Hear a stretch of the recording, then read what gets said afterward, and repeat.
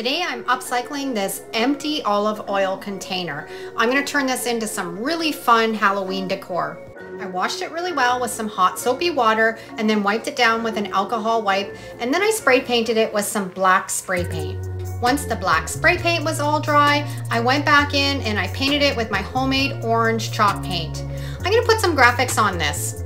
I printed off the graphics on my LaserJet printer and then I'm adding some Mod Podge onto those graphics and then I'm gonna put it right where I want it on that upcycled olive oil container.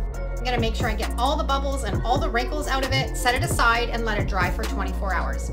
So next day, I've dampened it with a little bit of water, I'm rubbing off the paper, then I'm sealing it with some polyacrylic sealer and I'm gonna add a spindle on the top so it looks like a pumpkin stem added some ribbons and some twine and some faux flowers and I've created a really cute pumpkin.